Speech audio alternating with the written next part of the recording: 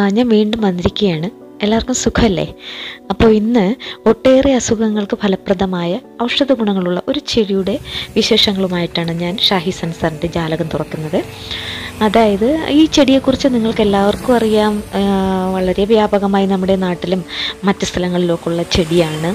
ഈ ചെടിയുടെ സവിശേഷത എന്ന് പറഞ്ഞാൽ അതിന്റെ പൂ മുതൽ വേര് വരെ ഒരു തരി കളയാനില്ലാതെ അതിന്റെ എല്ലാ പൂവ് ഇല വേര് തണ്ട് കായ കറ ഉൾപ്പെടെ എല്ലാത്തിനും മരുന്നായിട്ട് ഉപയോഗിക്കുന്ന സാധനമാണ്. അതായത് മുട്ടുവേദന കാൽവേദന ഉപ്പൂറ്റി വേദന അതുപോലെ പനി വാദം ജലദോഷം ദഹനക്കുറവ് asthma rheumatic fever leprosy eczema elephantiasis എന്ന് വേണ്ട നമ്മുടെ ഡയബറ്റിക് വളരെ കുറഞ്ഞ ലെവലിൽ എത്തിക്കുന്നതിനുള്ള ഒരു ഔഷധ ചെടി കൂടിയാണ് നമ്മുടെ നാട്ടിൽ ധാരാളമായി കണ്ടുവരുന്ന നമ്മുടെ നാട്ടിൽ മാത്രമല്ല ഉഷ്ണമേഖല ഉള്ള ഉഷ്ണമേഖലയായിട്ടുള്ള പ്രദേശങ്ങളിലെല്ലാം ധാരാളമായി കണ്ടുവരുന്ന ഒരു ചെടിയാണ്. അത് റോഡിലും പിന്നെ തരിച്ചിട്ടുള്ള ഇടങ്ങളിലും റെയിൽവേ സ്റ്റേഷന്റെ ഓരങ്ങളിലും വിശാലമായ പറമ്പിലും ശവക്കാടുകളിലും ഒക്കെ ശവപ്പറമ്പിലും ഒക്കെ സർവസാധാരണമായി കണ്ടുവരുന്ന ഒരു ചെടിയാണ്.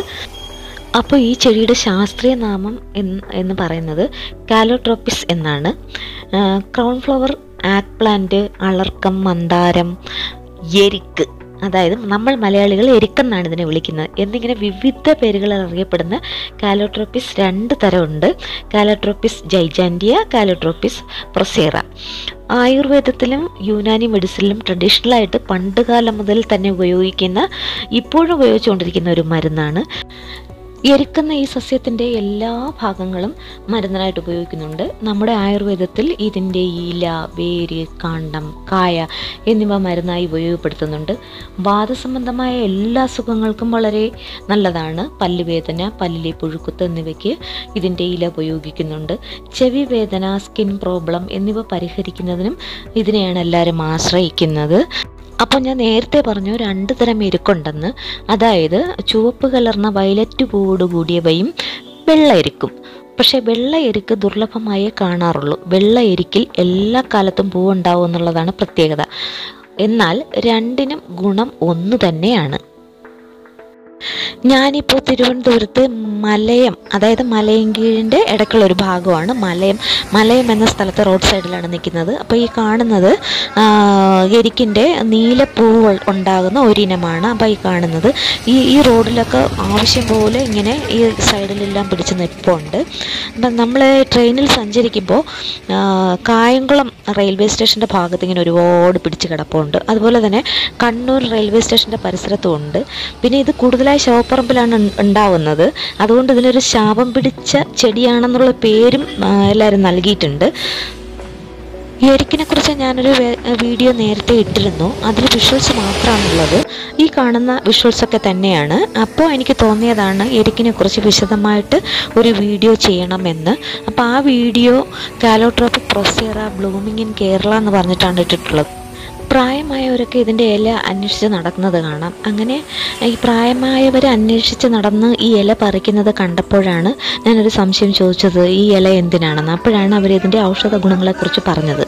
മുട്ടുവേദനയ്ക്കും കാൽവേദനയ്ക്കും ഇതിന്റെ ഇല പറിച്ച് അരച്ച് തേക്കുക അല്ലെങ്കിൽ വെള്ളത്തിൽ മുറിച്ചിട്ട് തിളപ്പിച്ച് ടവലിൽ മുക്കി വേദനയുള്ള ഭാഗത്ത് അമർത്തി പിടിക്കുകയോ ചെയ്താൽ ഒരാഴ്ച കൊണ്ട് വേദന കുറയുമെന്നാണ് അവർ പറഞ്ഞത്. അതുപോലെ ഡയബറ്റിക് ഉള്ളവർ ഇതിന്റെ രണ്ടില എടുത്ത് ഉള്ളംകാലിൽ തിരിച്ച് വെക്കണം. അതായത് ഇലയുടെ നല്ല വശം വെക്കാതെ മോശം വശം. അതായത് ഇലയ്ക്ക് രണ്ട് വശം ഉണ്ടല്ലോ.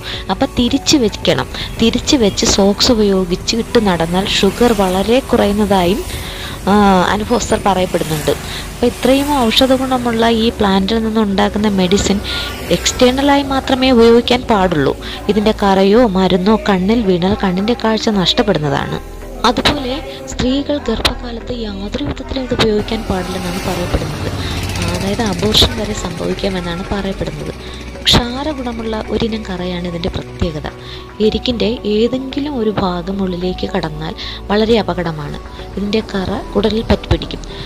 കുടൽ പ്ലീഹ വൃക്ക എന്നിവ നീര് വന്ന് വീർക്കും. ഇതിന് എത്രയും പെട്ടെന്ന് പശുവിൻ പാൽ കൊടുക്കുക എന്നുള്ളതാണ് പരിഹാരം.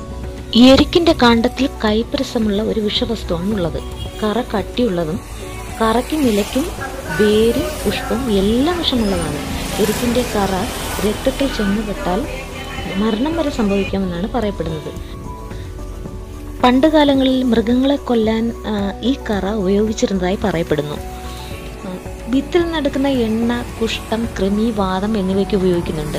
ഡയബറ്റിക് രോഗികൾക്ക് ഏറ്റവും അനുഗ്രഹമാണ് ഈ ചെടി. അതുപോലെ വീട്ടിന്റെ പരിസരത്ത് പാമ്പ് വരാതിരിക്കാൻ ഇവയുടെ ഇല പൂവ് എന്നിവ അരച്ച് നാല് ചുറ്റും തെളിച്ചാൽ മതിയാകുമെന്നും പറയപ്പെടുന്നുണ്ട്.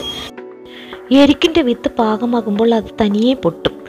ഇതാണ് ദ എരിക്കിന്റെ വിത്താണ് ഈ കാണുന്നത്. നേർത്ത മിനുസമുള്ള പഞ്ഞോട് കൂടിയ വിത്തിനെ ഇങ്ങനെ പറന്ന് നടക്കും. അത് പൊട്ടിയിട്ട് ഇങ്ങനെ പറന്ന് നടക്കും. അപ്പോൾ കുട്ടികൾ അതിന്റെ പുറകെ ഓടി പോകുന്നത് കാണാം.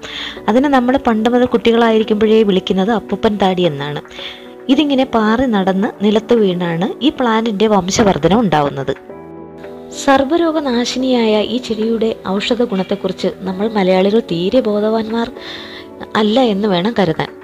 എന്നാൽ വിദേശികളെ ഏറെ മനസ്സിലാക്കിയിട്ടുണ്ട് താനും. അതുകൊണ്ടാണല്ലോ എരിക്കിന്റെ ചെടികൾക്ക് മാർക്കറ്റിൽ അഞ്ഞൂറ് രൂപ മുതൽ അറുന്നൂറ് രൂപ വരെ വില കൊടുക്കേണ്ടി വരുന്നത്. എന്നിരുന്നാലും മലയാളി വീടുകളിൽ എരിക്കിനെ വെച്ച് പിടിപ്പിക്കുന്നവർ ഇപ്പോൾ ഏറെയുണ്ട്. അപ്പോൾ രോഗികൾ നിയന്ത്രണമില്ലാതെ കൂടി വരുന്ന ഈ കാലഘട്ടത്തിൽ ഈ ചെടിയെ സംരക്ഷിക്കേണ്ടതും അത്യന്തം ഉപയോഗിക്കേണ്ടതുമാണ്. അപ്പോൾ ഈ വീഡിയോ ഇഷ്ടപ്പെട്ടാൽ സബ്സ്ക്രൈബ് ചെയ്യണം ലൈക്ക് ചെയ്യണം. നിങ്ങളുടെ അഭിപ്രായങ്ങൾ കമന്റ് ബോക്സിൽ കമന്റ് ചെയ്യണം.